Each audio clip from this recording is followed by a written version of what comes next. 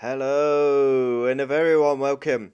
In today's video we're going to talk about Lewis Hamilton's replacement and who is it going to be in 2025. Lewis has one more season with Mercedes. Hopefully he can get a win under his belt. I think he deserves that for the career he's had with Mercedes in particular. But who's going to replace him in 2025? Now we have some faces on the screen that I think are the main candidates, but comment down below your thoughts. I did a poll the other day, and a lot of people think uh, Albon. Uh, he won the vote. I'm just getting it up now. Here with 64%.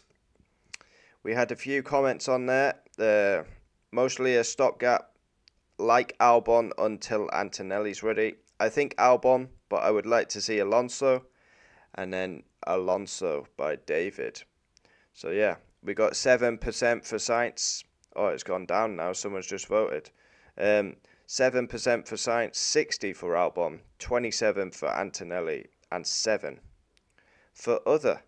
So, yes, let's jump into it. Now, we'll start with Fernando Alonso. Obviously, two time champion. Why would Mercedes not try and sign someone like Alonso, the most experienced driver on the grid. And yeah, look at his performance last season in Aston Martin.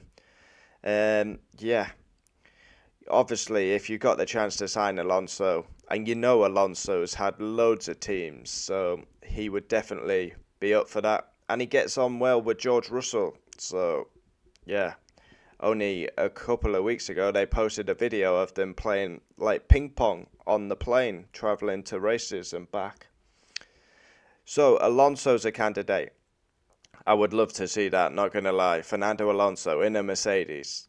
Wow, that would be and with George Russell as teammates. We'll jump into Kimi Antonelli. Now, not many people will know who this guy is, but Kimi Antonelli. There's a lot of hype about this guy. He will be competing in Formula 2 this season. If he has a good Formula 2 season, who knows what the future holds? Will he be given an opportunity to jump straight in to the Mercedes? Maybe a tall order. But if he has a good F2 season, I don't see no reason why he can't go to like a Williams or somewhere and then get promoted to Mercedes. I think putting him straight in would be a big ask. But let's see what he does in Formula 2. Then we've got Carlos Sainz. You got to feel for Carlos Sainz. He's lost his seat at Ferrari through no fault of his own, really. He won the race last season, the only guy to do so that was non Red Bull. But yeah, Carlos Sainz is heavily linked with Audi. Um, yeah, Mercedes. I don't know. I don't see this one. I think Sainz may end up at Audi. Um, this is just my opinion. I think Sainz will end up at the Audi partnership. Um, yeah. Jumping into the next one, Alex Albon. Um, yeah, on my particular poll, he's got the most votes, 60%. think Albon will be the next Mercedes driver. I've got to be straight to the point. I don't think Albon, I don't think that would work. Russell and Albon, it would be too nice, two nice environments as they're good mates.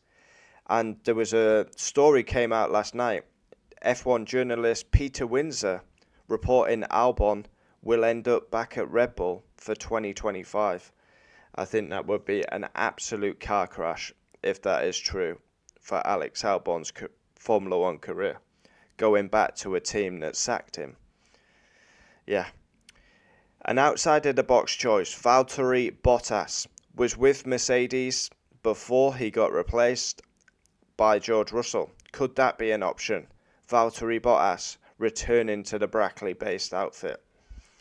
Um, yeah, won races, pole positions, but was always a number two to Lewis. Another outside the box choice, Esteban Ocon.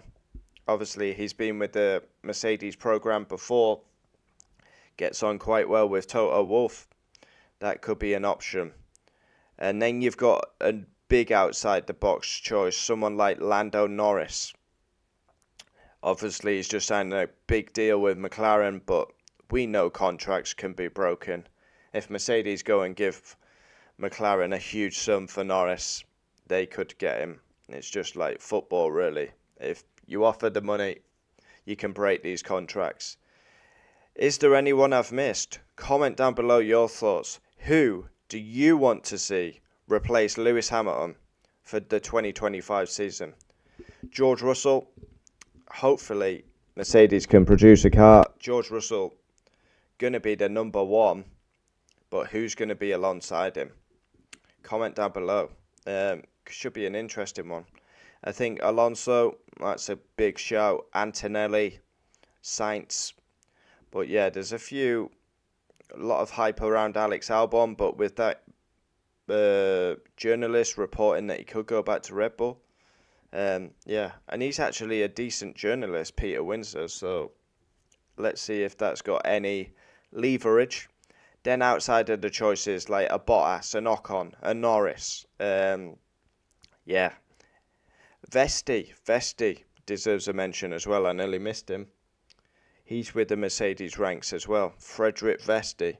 Um, yeah. Let's see what happens. But yeah, comment down below your thoughts. Be interesting to know.